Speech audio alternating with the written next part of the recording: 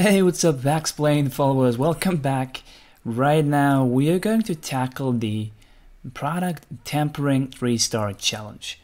And the description tells us to change the href of the link within the OWASP SSL Advanced Forensic Tool OSAFT product, and we're going to change it to that. This falls under the broken access control challenges. So I want to start by going to that link over here because um, we have that in the description and it probably makes sense to check it out. And what we see over here is the result of our search. And if we check out Burp, we do not really see any search result for that because OWASP GShub is a single page application.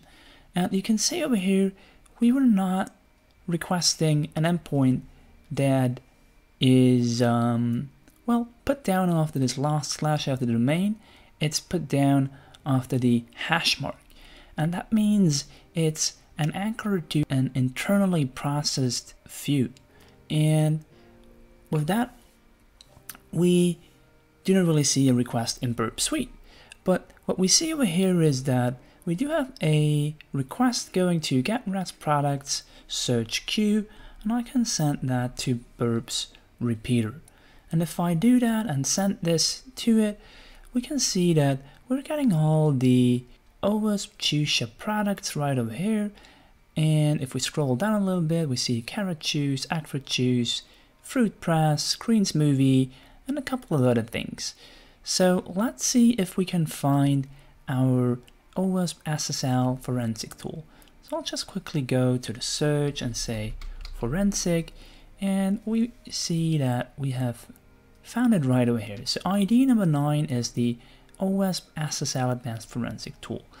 So let's quickly check what happens if I search for that specifically. So I will use that right over here, go back to burp and fill this in right over here in the queue parameter. So that obviously doesn't work because we do see that there's a couple of spaces in here so we cannot send that the way it is right now. Quickly send it to decoder, coder and code as URL I will quickly copy that repeater and we'll fill it in straight over here. Let me do that. And let's see what happens if I send this to the endpoint. And we do see that we now get back the forensic tool only, the OSAF product only. So if you recall what the challenge is, the challenge is to take that product and exchange its description, which currently says OSAF is an easy to use tool to show information, yada yada yada. And if we check that out in the UI, we see that this is this text right over here. And if we click on more, we are getting redirected to owasp.org and there is a little page called OWASP OSAFT. But we want to exchange that link to link to a Slack channel as we have seen in the description. So the question right now is how can we do that? And what I would usually do is I would start with having another look at the endpoint. And I do see that we're sending a get request to slash rest slash products slash search and I want to change something. So usually with API endpoints, you use get to retrieve information, you use post to insert information somewhere, and you use put to update it. So my idea right now is that we would need a put request. And search is probably not the right endpoint. So what we could do is we could start with, I don't know, let's say um, deleting all of that and um, for example, get rid of the search, go back to REST products only, send this to the server and see if we're getting anything back. And what we do see is that we have hit an unexpected path. So as OSP Chusha is giving us back pretty, well, verbose error messages, we're learning a lot about the application and we immediately see that this doesn't exist. And what I could do right now is I could go ahead and brute force a lot of those endpoints, a lot of the possibilities, and see if I hit an endpoint where I do get a, another response. So I could use this error message over here to brute force until I find a response which is sending me back, for example, a 200 response code over here instead of a 500 internal server error. But as I do not really want to brute force this application right now, I want to show you a different path. And let's recall quickly that the information which endpoints we have must be stored somewhere on or in that application because otherwise the application can request it. So think about it. The, the, the information must be somewhere. The question is where. And with that, I want to introduce you once again to the developer tools because those are pretty great. If we open them up by hitting F12, we see this little white bar down below here. And if I go to debugger, I see all the JavaScript files which are used by OWASP Shoeshop in order to run the application. So this is the heart, like the main part of the application. Without those, there wouldn't be happening anything. It wouldn't work. So the question right now is what can we do with those? And by looking at them, I see a main, polyfills, runtime, tutorial, vendor, JS, and I gotta uh, scrutinize which one to have a look at first. And main sounds pretty interesting to me, to be honest. And we can use some nice functionality over here, which is called um, Pretty Print Source to make this a little more readable. And if we give this a second, we see that this looks way better and easier to read right now and only comes with, well, 74,000 lines of code. That is actually a lot. And as I do not want to go over all of that right now, I quickly go back to Burp and see that the endpoints are structured in a way where we do have, for example, um, um, slash rest and then slash products. So product seems to be interesting because it's actually a product that I want to change, a product where I want to change the description. Now let me quickly go back to this request over here. We also know the ID of this product, which is 9. So let's keep that in mind. I will go back to my developer tools and I will use Control F to use the search functionality and then say products. So let's see what we find with products. We get 46 results and the first one is slash API slash products and that's actually a pretty interesting one. The next we already see is REST products that we already know and if we click through that we can see if there's any anything else in it that sounds interesting, but it doesn't really seem so. So I go back to that and say, um, right over here, say slash products.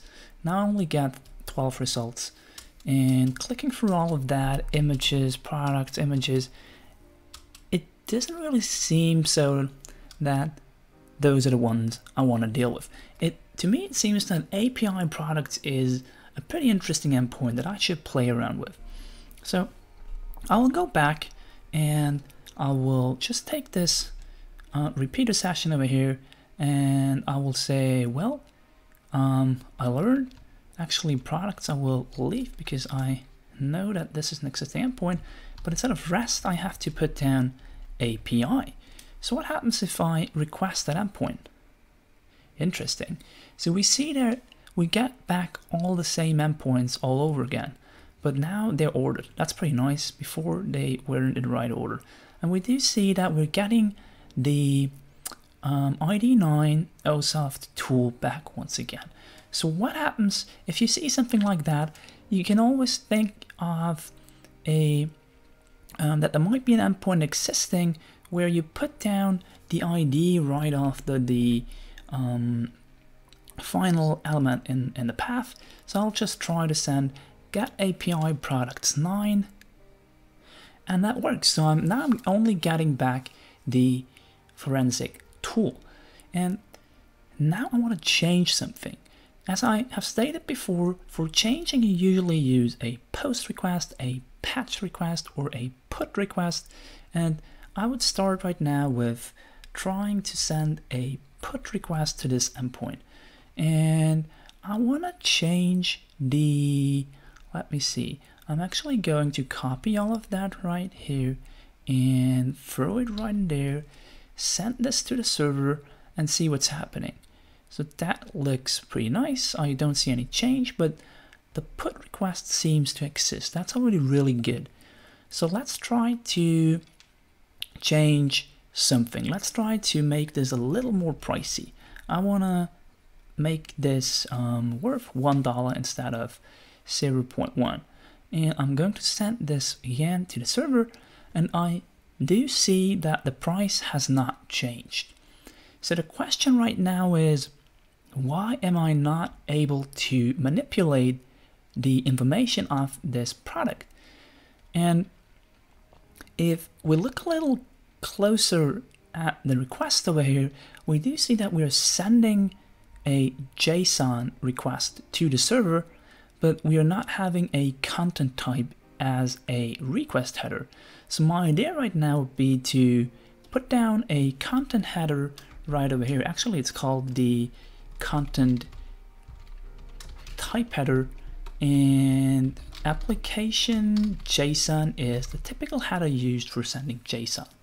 So let's try if that helps if I put down the content type header. And what I can see over here is that it didn't really work out. The price is still the same. So the question right now is what else can we do? And I will reduce this example a little bit because actually I do not want to change any of those um, price tags or whatever. I only want to send or update the description. So what I'm going to do is I will get rid of all of that and I will also get rid of all of that. Let me delete everything up here. That's stuff I don't really need. The only thing I want to change is that description and nothing else. I'll actually just quickly get rid of pretty print to see my full request. And yeah, that looks good. So let me send this one more time to the server. No, I'm actually having a JSON error. Ah, yeah, I deleted one character too much. Let's send this again. And apparently one more. Yep, there's still a comma in here. So you gotta make sure to get your payloads right. And let's send this over again. Right, it looks better. So let's try right now to change the description because maybe that field or that attribute works for us. I will just say instead of OSEF is an easy tool, I'm just going ahead and say hack explained is an easy to use tool. Now I'll send this to the server and that actually worked. So what we see is that we were able to change the description of the um, forensic tool, which is pretty cool and actually brings us pretty close to our result. So let's just go back one more time to my scoreboard and see what the description says. I'll close that because we don't need that anymore and scroll down. The description says, can you change that to https owaspslack.com? Um, yeah, maybe, maybe we can change that. So I will copy that and go back to Burp and look in the existing description if there is an href tag in it. And there is one right over here. So let me exchange the existing href with the link that I've just copied. I'll put that down over here. I'm actually going to adapt the character over here a little bit because uh, that is messing up my my href and send this to the server. Nope. I was messing this up. So let's quickly check what I was doing. Oh, let me copy that one more time. HTTPS up until com. I'll go back, delete all of that until I reach the double quote, fill in the new href link, and send this to the server. And I am still having an error. So let's see what problem we do have right now. Target is escaped. Ah, there it is. I forgot to escape the double quote character over here. So you can immediately spot in Burp that if the payload is put down correctly, the whole string turns green. So that, that's an indicator for you that the payload is correct. And still a mistake on my end, but always make sure to check out your payloads if there are any mistakes in it. And let's send that over to ChooseShop again. And we see that, yeah, that actually worked. So let me go back to the screen over here and let's go to our ChooseShop front page and here we go product tampering. We've actually solved the challenge. We were able to change the product description to osslack.com and I want to demonstrate that before closing up this video. So I'll just say o minus soft and search for the product once again. Actually a little fun fact that O soft string over here is standing for orange juice and yeah that picture actually looks like an orange juice. And if we click on that we see this link once again and if everything worked out fine this should take us to os.slack.com before it was taking us somewhere else. So yeah we have solved the challenge. I hope that you were able to learn something new in this video. And yeah with that subscribe in the top right corner. Make sure to check out all the other videos and i'll see you guys soon